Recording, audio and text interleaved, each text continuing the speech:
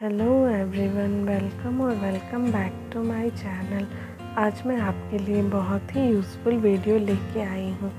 इस वीडियो में मैं आपको बताने जा रही हूँ कैसे आप एलोवेरा का यूज़ करके अपने बालों को हेल्दी सिल्की साइनी रख सकते हैं। ये क्लिप एलोवेरा का यूज़ करने के बाद हेयर को वॉश करने के बाद का है। आप देख सकते हैं मेरे बाल कितने ज़्यादा सुलझे हुए, सिल्की और साइनी लग रहे हैं। तो बिना वक्त को बर्बाद किए हुए चलिए वीडियो को स्टार्ट करते हैं। इसे बनाने के लिए सबसे पहले हम एलोवेरा के स्टेम को लेंगे और उसे साफ़ पानी से अच्छे से साफ़ कर लेंगे। मैंने एक एक करके सारे स्टेम को साफ़ कर लिया था। फिर एक चाकू की मदद से इसके पल्प को निकाल लेंगे। सबसे पहले मैंने इसके साइड को कट किया और इसका कांटे के साइड को भी हटा देंगे और चाकू की मदद से इसके पल्प को निकाल लेंगे और उसे ब्लेंडिंग जार में ब्लेंड कर लेंगे।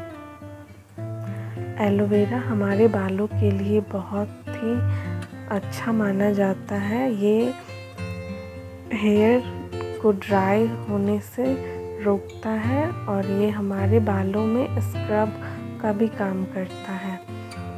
और ये बालों के इचिंग को दूर करता है और ये ऑयली हेयर को भी क्लीन करता है। ये बालों को मज़बूत बनाता है और ये हेयर फॉल को भी सही करता है।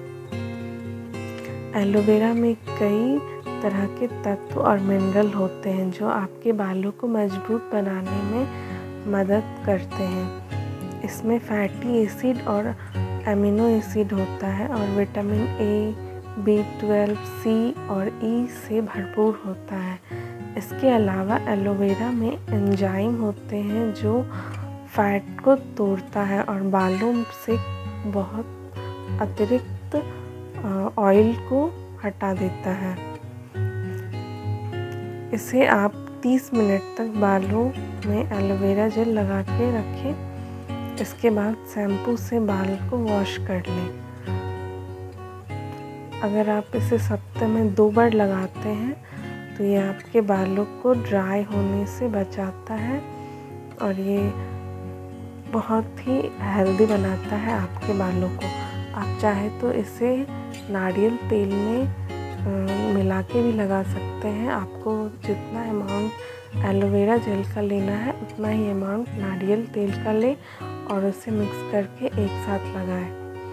मैं इसे अलग लगा रही हूँ। सबसे पहले मैं इसे लगा लूँगी अपने बालों में। फिर इसे मैं सूखने के लिए आधा घंटा छोड़ दूँगी। जब ये बालों में ड्राई हो जाएगा तो फिर मैं हेयर ऑयल अप्लाई करूँगी। उसके बाद इसे लगा के मैं दो घंटा मैंने इसे छोड़ दिया था और फिर मैंने बाल को वॉश किया। सबसे पहले मैं एलोवेरा के स्टेम को इस तरह से पूरे बालों में लगा लूँगी।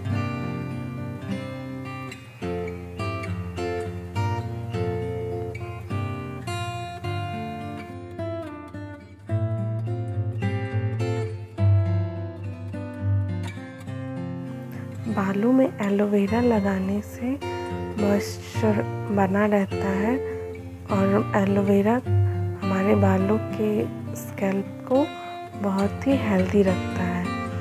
इस हेयर फॉल संबंधी सभी प्रॉब्लम को कम करता है और ये बहुत ही अच्छा नुस्खा माना जाता है बालों के लिए। बालों में एलोवेरा लगाने के बाद इसे कम से कम 20 मिनट तक तो ज़रूर छोड़ें। जब ये आपके बालों को वॉश करेंगे तो ये बालों को अलग ही शाइनिंग देता है। एलोवेरा में बहुत सारे मिनरल पाए जाते हैं जो हमारे बालों को मज़बूत बनाने में मदद करता है। बालों में एलोवेरा लगाना बहुत ही ज़्यादा फ़ायदेमंद होता है आप चाहें तो इसमें एक अंडा भी मिला के लगा सकते हैं। पर मैंने इसे ऐसे ही लगाया था।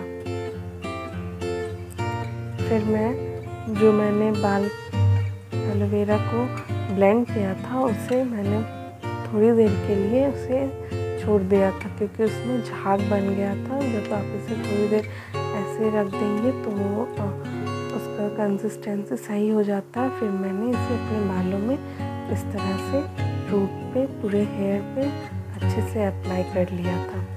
फिर मैं इसे आधा घंटा ड्राई होने के लिए दे दूँगी। आप देख सकते हैं, ये मेरे बालों में एलोवेरा जेल पूरा ड्राई हो चुका था। फिर मैंने हेयर ऑयल लिया। मैं वाव का हेयर ऑयल यूज़ करती हूँ तो मैंने इसे कटोरे में ले लिया, फिर इसे एक एक करके इस तरह से बालों पे पूरे हेयर लेंथ और स्कैल्प पे अप्लाई करेंगे और इसे थोड़ी देर मसाज करेंगे। मसाज करने से हमारे स्कैल्प का ब्लड सर्कुलेशन इम्प्रूव होता है, जिससे हमारा हेयर ग्रोथ में मदद करता है और नए हेयर को भी उगाने में ये मदद करता है। अगर आप इसे कोकोनट ऑयल के साथ एलोवेरा जेल को लगा, लगाते हैं तो आप बाद में हेयर ऑयल अप्लाई करना स्किप कर सकते हैं। लेकिन मैंने पहले एलोवेरा जेल लगाया, फिर मैंने इसे ड्राई होने के लिए दिया था, फिर मैं इससे हेयर ऑयल अप्लाई कर रही हूँ। फिर मैंने जब ऑयल अप्लाई कर लिया तो इससे मैं हमेशा मसाज करना कभी नहीं भूलती हूँ। इससे मेरे बाल बहुत ही हेल्दी होते हैं और ये मेरे स्कैल्प के ब्लड सर्कुलेशन को इम्प्रूव करता है। अगर आप रात में हेयर मसाज करके सोते हैं तो आपको बहुत अच्छी नींद आती है, ये आपके स्ट्रेस को भी कम करता है। मुझे हेयर ऑयलिंग करना बहुत पसंद है।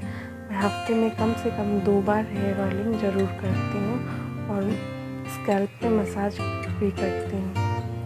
आप इस तरह से मसाज कर सकते हैं। फिर आप पूरे बालों को इस तरह से आगे कर लें और अपने स्कैल्प पे इस तरह से मसाज करते हैं तो आपके बाल बहुत ही हेल्दी हो जाएँगे।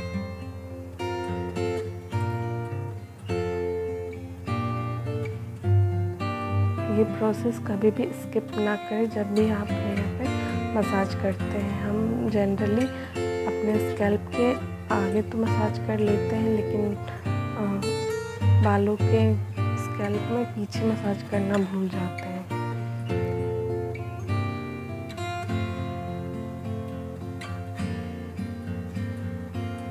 जब मसाज करना हो जाए तो मैं अपने बालों को अच्छे से बाँध लूँगी और पोनी तेल बना लूँगी। उसके बाद ही मैं सोती हूँ क्योंकि मुझे इससे बाल खोल के सोना पसंद नहीं है, इससे हेयर फॉल भी होता है।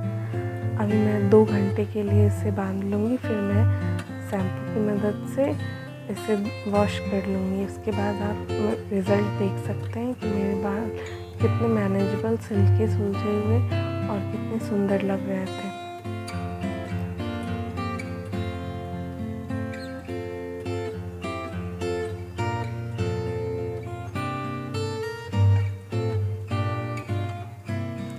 आफ्टर वॉश आप देख सकते हैं मेरे बाल कितने शाइनी सिल्की और मैनेजेबल लग रहे थे। आप इसे ज़रूर ट्राई करें और आप इसे हफ़्ते में दो बार लगा सकते हैं और आप अपने बालों को हेल्दी बनाएँ। So that's it in this video. See you in the next video. Like, share and subscribe.